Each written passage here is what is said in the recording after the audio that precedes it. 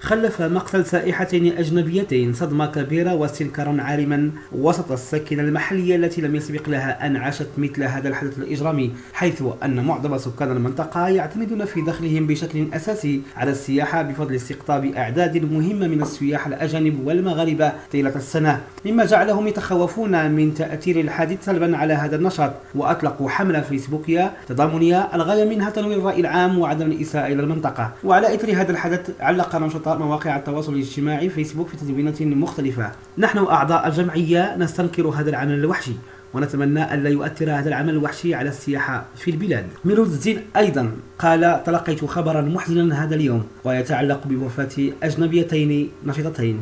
نور الدين النصيري قال بشاعة جريمة إمرين شمهروش القتل والتمثيل بالجثث وفصل الرؤوس على الأجساد والاغتصاب عمل جبان ومنبوذ ومرفوض من كل ساكنة الحوز.